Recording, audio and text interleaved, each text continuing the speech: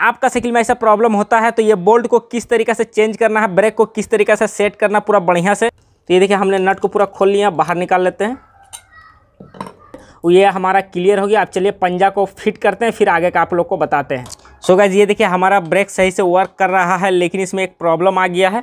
So hello guys आप लोग का स्वागत है हमारे यूट्यूब चैनल में। मैं Raju ji. So so guys इस वीडियो में हम बताने वाले हैं, जैसा कि आप हमारे पीछे साइकिल देख पा रहे हैं कैलिपर ब्रेक का साइकिल है। जी हाँ गाइज़ ये ब्रेक में क्या प्रॉब्लम हो कि इसका जो बोल्ट होता है, वो बोल्ट स्लिप कर गया है, खराब हो चुका है। तो हम इसमें नया बोल्ट लगाने वाले हैं और ब्रेक को बढ़िया से रिपेयर करने वाले हैं। तो आप लोग को बताते हैं, अगर आपका साइकिल में ऐसा कोई भी प्रॉब्लम होता है कैलिपर ब्रेक में तो आप आसानी से उसे रिपेयर कर सकते हैं। तो चलिए आप लोग का ज़्यादा समय ना वेस्ट करते वीडियो को शुरू करते हैं। वीडियो शुरू करने से पहले अगर आप हमारे चैनल में नए आए हैं तो सब्सक्राइब ज़रूर कर लीजिएगा, साथ में बेल आइकन प्रेस कर दीजिएगा लाइक करना शेयर करना बिल्कुल ना भूलिए, क्योंकि अदर दोस्तों को भी काम में आने वाला वीडियो है। और कोई भी ऐसा जानकारी चाहिए साइकिल के रिलेटेड में तो आप हमें नीचे कमेंट करके ज़रूर बताएँ।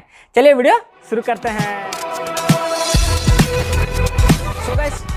सो गाइज़ जैसा कि देख पा रहे हैं बोल्ट देखिए बेंड हो चुका है हमारा और नट भी स्लिप है। यहाँ का जो बोल्ट का जो थ्रेड होता है, वो पूरा एकदम प्लेन हो चुका है। जी हाँ जैसे तैसे करके ये चल रहा था। तो इसे अब चेंज करने वाले हैं। अगर आपका साइकिल में ऐसा प्रॉब्लम होता है तो ये बोल्ट को किस तरीके से चेंज करना है, ब्रेक को किस तरीके से सेट करना पूरा बढ़िया से। तो चलिए आप लोग को बताते हैं। तो ब्रेक बटम आप देख रहे हैं, ब्रेक बटम को आपको लूज करना है इस तरीके से। लूज करने के बाद तार को इस तरीके से खींचेगा तो देखिए हमारा वायर जो है बाहर आ गया। अब क्या करना है, ये जो वाली जो नट आप देख रहे हैं नट को खोलना बोल्ट वाली। तो चलिए हम खोल लेते हैं, फिर आप लोग को बताते हैं। सो गैस ये देखिए, हमने बोल्ट को खोल लिया, पंजा को बाहर निकालते हैं। बोल्ट बेंड होने का कारण से जो यहाँ पर फंस रहा था इसे हमें जो ठोक करके बाहर निकालना पड़ेगा। इस तरीके से, जैसे कि देख पा रहे हैं, बाहर निकालने के बाद आपको क्या करना है, ये जो नट आप देख रहे हैं फ़र्स्ट वाली नट पहले खोलना है। इधर वाला नट है एक और, उसे भी खोल लेना है। तो ये देखिए, हमने नट को पूरा खोल लिया, बाहर निकाल लेते हैं। सो गैस ये देखिए, हमारा बोल्ट जैसे कि आप देख पा रहे पूरा एकदम बेंड हो चुका है पूरा घिस चुका है, ठीक है? तो इसके वजह से ये बोल्ट हम चेंज कर रहे हैं और ये इसका जो थ्रेड भी आप देख रहे हैं थ्रेड भी मार कर गया है। थ्रेड भी ख़राब हो चुका है तो बार बार प्ले हो जाता था। ब्रेक पंजा इसके वजह से नया फिट करते हैं कि हमने नया बोल्ट ले लिए हैं। अब चलिए पंजा को सेट करते हैं बढ़िया से। सबसे पहले आपको जो है दोनों नट को निकाल लेना है। निकालने के बाद क्या करना है? ये जो स्प्रिंग देख रहे हैं पंजा स्प्रिंग इसे आपको इस तरीके से लगाना है सबसे पहले। उसके बाद क्या करना जो लेफ़्ट साइड का पंजा है, वो पहले जाएगा अंदर की ओर।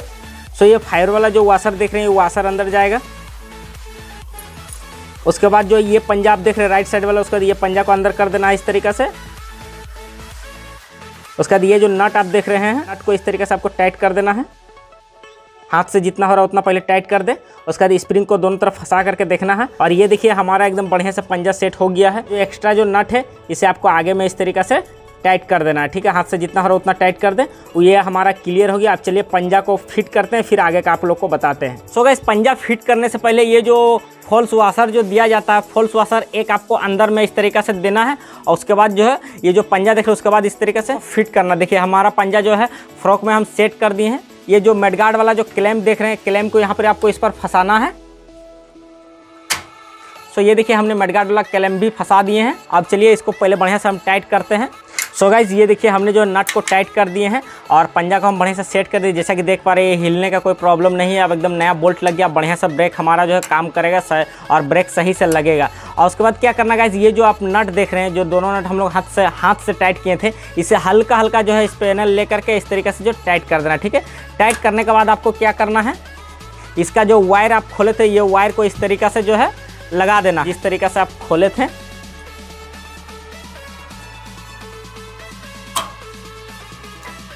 सो गाइस तो ये देखिए हमने जो है वायर को लगा दिए हैं और हल्का टाइट किए हैं, ज़्यादा नहीं किए हैं। इसमें देखिए ब्रेक शू रबर लगा हुआ नहीं है तो हम लगाते हैं। इसका वाला जो ब्रेक शू रबर था, वो ख़राब हो चुका था। इसके वजह से हम खोल के उसे भी हटा दिए, अब नया ब्रेक शू इसमें लगाते हैं।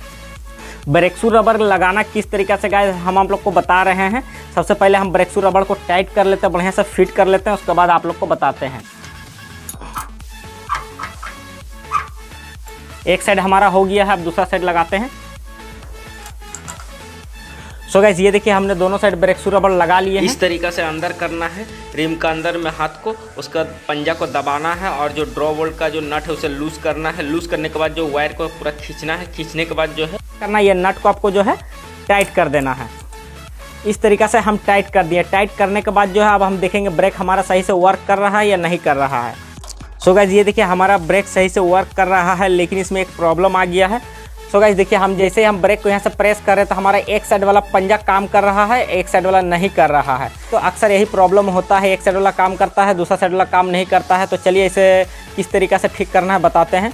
गाइस आपको क्या करना है, इधर वाला पंजा हमारा देखिए वर्क कर रहा है, इधर वाला वर्क नहीं कर रहा है। जगह तो हम क्या करेंगे, ये जो नट का आप जो घाट बना हुआ है, इस जगह में देख रहे हैं तो यहाँ पर क्या करेंगे, किसी, कैसा भी इस तरीका का एक जुगाड़ ले लेना है, और यहाँ पर जो है हल्का सा प्रेस करना है, इस तरीका से देखिए। इस तरीका से लगा करके आपको ठोकना है ठीक है? तो ये देखिए गेपिंग हो चुका है। ये देखिए, हमारा दोनों साइड वाला पंजा काम कर रहा है, जैसा कि आप देख पा रहे हो। तो ये हमारा क्लियर हो गया है। अब क्या करेंगे, इस तरीके से पहिया को उठाएँगे और उठा कर घुमा करके देखेंगे। और ब्रेक भी हमारा, देखिए, एकदम सही प्रॉपरली काम कर रहा है, कोई दिक्कत नहीं है। सो गैस ये जो हम ब्रेकसू रबड़ लगाए हैं तो इसे आपको किस तरीके से फिट करना है, किस तरीके से लगाना है? जैसा कि देख पा रहे हैं ब्रेकसू रबड़ आपको इतना में लगाना जैसा कि हम लगाए हुए हैं। रिम को इतना सा आपको गेपिंग छोड़ के इतना नीचे लगाना तो आपका ब्रेक सही से एकदम काम करेगा। और टायर में आपका टच नहीं होगा, टायर आपका खराब नहीं होगा, इसी तरीके से दोनों साइड लगा लेना। चलिए, मैं आप लोग को दूसरा साइड दिखा देता हूँ सो गई जैसे कि ये साइड भी आप देख पा रहे हैं, एकदम सेम है।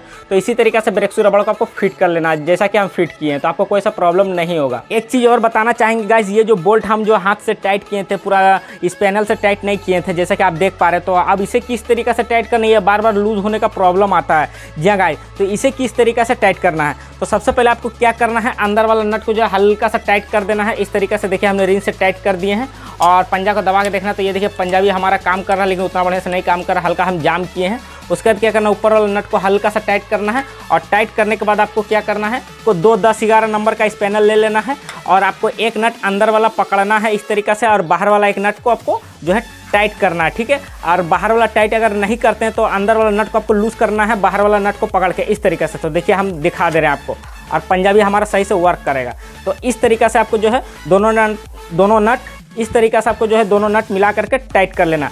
दोनों नट को अगर आप इस तरीके से टाइट करते हैं तो ये क्या होता है कि दोनों में आपस में पकड़ बन जाता है और ये पंजा जो है बार बार जो लूज होने का प्रॉब्लम होता है, आगे पीछे होने का जो प्रॉब्लम होता है, वो प्रॉब्लम आपका नहीं होगा, हमेशा के लिए फिक्स हो जाएगा और ब्रेक भी आपका सही से वर्क करेगा, जैसा कि आप देख पा रहे हैं। एकदम देखिए हमारा ब्रेक सही से वर्क कर रहा है। जाए तो इस तरीका से कर ले, आपका जो क्लिपर ब्रेक है एकदम सही से वर्क करेगा, कोई भी सब प्रॉब्लम नहीं होगा। और इंकेज होता है तो ये बहुत दिन के बाद लूज होगा आपका, नहीं तो नहीं होगा। जी हाँ गाइज़ और ऑयलिंग मेंटेनेंस का थोड़ा ध्यान दे तो आपका लॉन्ग टाइम तक चलेगा और प्रॉब्लम जल्दी नहीं आएगा। आशा करते हैं हम आप लोग को सही से बता दिए हैं, क्लिपर ब्रेक का जो पंजा होता है, उसका बोल्ट अगर खराब हो जाता है तो किस तरीके से चेंज करना, नया बोल्ट किस तरीके से लगाना है, और रिपेयर किस तरीके से करना है। जी गाइज़ तो जैसे कि आप देख पा रहे हैं, हमने बोल्ट को चेंज कर दिया, सारा चीज़ आप लोग को बता दिए, कैसे करना, नहीं करना। अगर आप हमारे चैनल में नए आए तो सब्सक्राइब ज़रूर कीजिएगा बेल आइकन प्रेस कीजिएगा लाइक करना शेयर करना बिल्कुल ना भूलिए, क्योंकि अदर दोस्तों को भी काम में आने वाला वीडियो। चलिए फिर मिलते हैं नेक्स्ट वीडियो में। जय हिंद बंदे मातरम।